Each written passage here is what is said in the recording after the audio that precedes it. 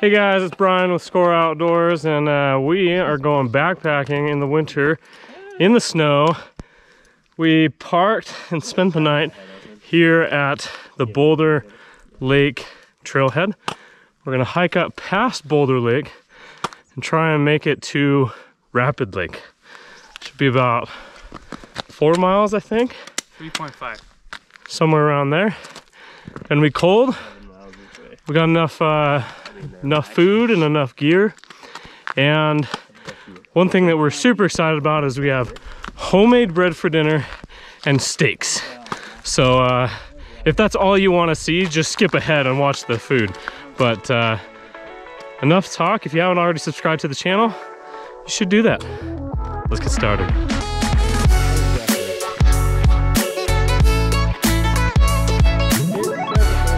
Over.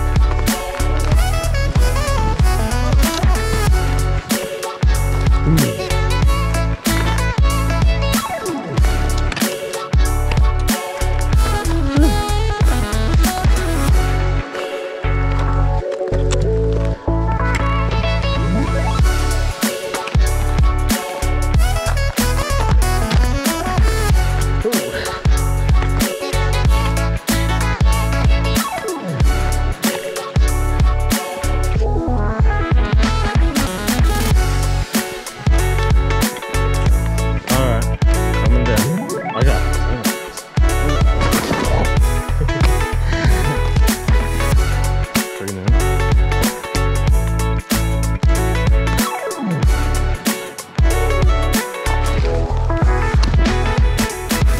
To the first destination, which is Boulder Lake.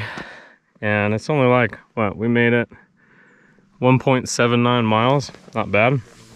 And uh, yeah, we're gonna try and make it over to Rapid Lake. If all else fails, we might just turn back and end up camping right here, depending on how deep the snow gets. And uh, we're doing okay now. It's really light and fluffy, but uh, might get a little deeper. It's a pretty cool place, but I think we're gonna continue on. And basically, it's right over there, I think. Right over there is where Rapid Lake is. So we'll see if we make it. Um, what was it? There was something else. All right, enough talking. Let's keep hiking.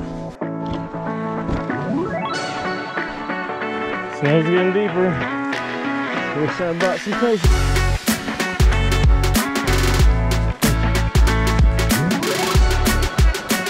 错。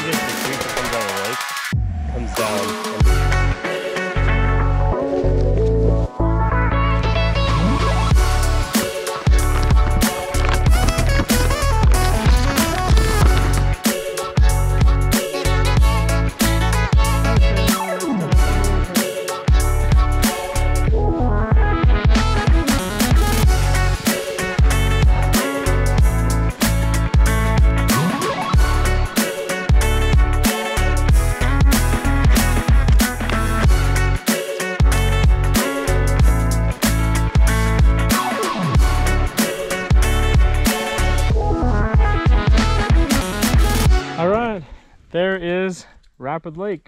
We made it. It's all iced over. It's a gorgeous view. I mean, it's just amazing here. Glad we uh, stuck through the climbs and the grunt and made it here. Um, we're gonna head this way, follow the lake, the rim of the lake, and see if we can find a campsite over there. We were gonna hit the peninsula over there, but uh, these you can see some spots over here that look really good so let's keep hiking use my trekking pole as a selfie stick.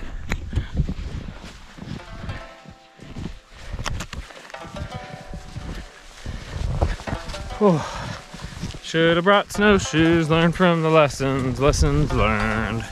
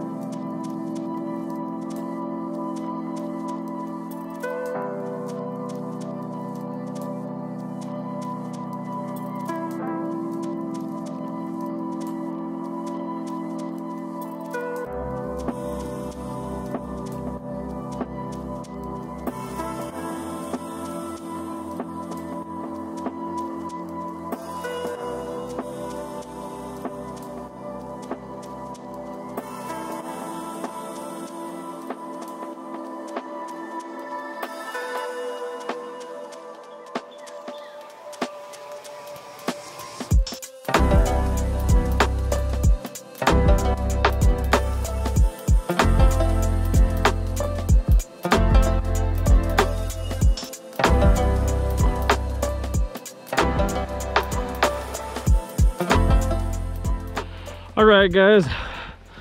This is our campsite. We have it all set up. Sun's going down. We're just about to have dinner. Here's my tent. Anthony's tent. Jason's tent on the other side of this rock. I kind of hoped, uh, I kind of uh, asked for this spot because I was hoping that this rock would kind of shield any type of wind that would, uh, this rock would shield kind of any wind that would come. Um, we got a campfire going and flew the drone. Hopefully you enjoyed those shots. And uh, yeah, hoping uh, feet are a little wet and uh, I don't know, a little chilly. That's why I want to get back to the fire. And uh, the really excited for dinner. We're gonna have a really good, really good dinner. So I have to have some sturdy ground. I'm ready when you are.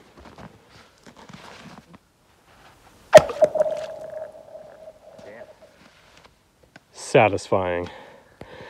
Oh gosh. Ready? Yeah.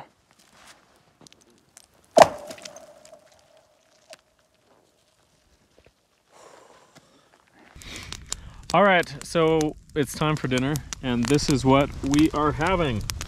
Steak, we got vegetables. Um, he's doing a can of beans. It's not uh, ultra light. They're frozen. Well, that's great. We have a fire. Partially frozen. They're partially frozen. But that's just the, the steak there. I still have it. But vegetables and then we have um, That thing is. we have bread gnarly. You could kill someone with. we have uh, homemade bread that we brought for uh, we'll have it for probably for dessert um, and basically all this uh, meal we try, I tried it last week it worked out really well um, with my kiddos but uh, this week they uh, we're trying this straight onto the coals. Um, this was inspired by one of my favorite YouTube channels is uh, the Outdoor Boys YouTube channel. Uh, the guy's name is Luke and he lives in Alaska. And his videos are very inspiring. I very much like watching them, and a lot of this stuff is just very basic, but in, um, but effective. And that's one of the things is just I feel like you can you can really do a lot of things that he's doing. Um, like for example, making homemade bread straight into the coals or cooking a steak straight into the coals. Because all it is just a little bit of ash. A little bit of ash didn't uh, didn't hurt anybody. You gotta put So uh, Put some meat Yeah. bones. we're cooking. I'm all right. to get over the ridge. Dinner's ready, and we're chowing down, and it's freaking delicious. It might not look like much, but after a long day of hiking and s- Which one do you want? I had. going through the snow, Which one do you want? I'll take the small. one. trudging, trudging's the word, right? After a long day of hiking and trudging through the snow, This one. Like, um, steak, campfire steak is just absolutely delicious. You don't need a bowl or a plate. You can have a log. Dude, Jason just eating straight off a log. What do you think, Anthony? Is is the steak this worth steak it? is better than most of the ones I make at home. So I know. And we just put it straight onto the fire, like onto the coals, and it cooked it.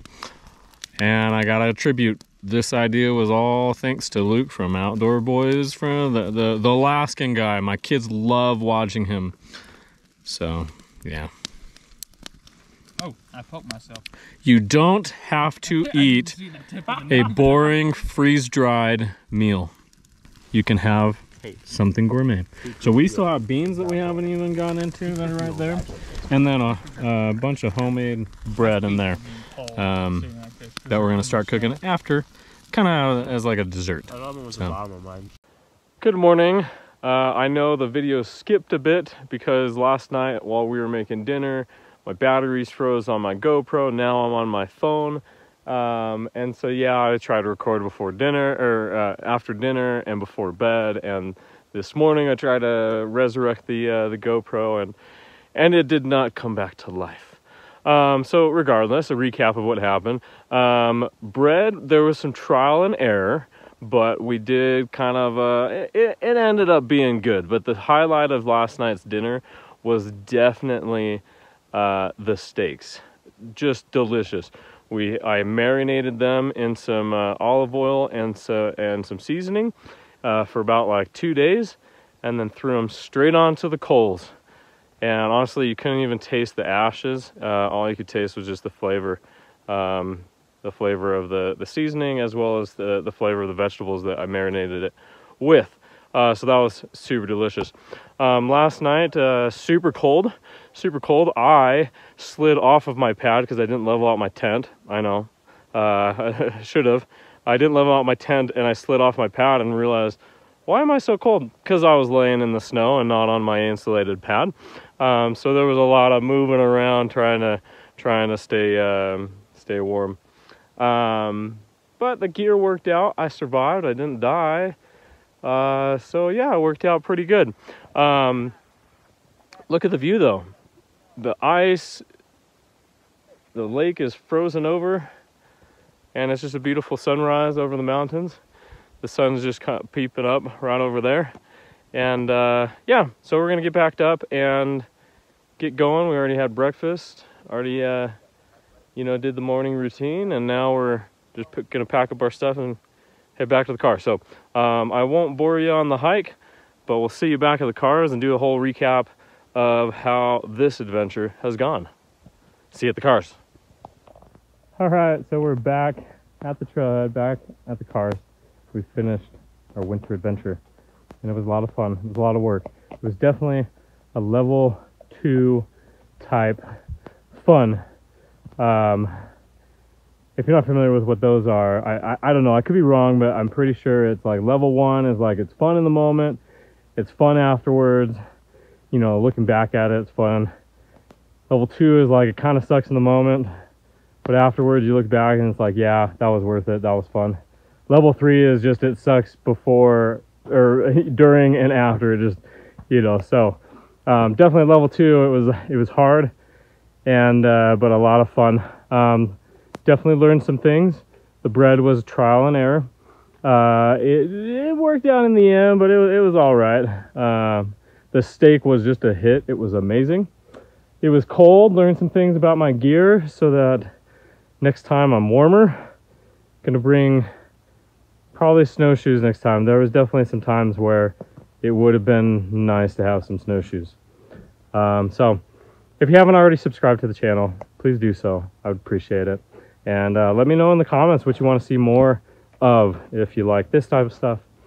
Um, also, a huge shout out to the Outdoor Boys YouTube channel. Um, the guy's name is Luke, and I love watching his show or his, his channel, and uh, a lot of the a lot of good ideas um, I steal from from his channel. So go check him out. Enough talk. Thanks for watching. If you made it this far, you're the best. We'll see you on the next one. Bye.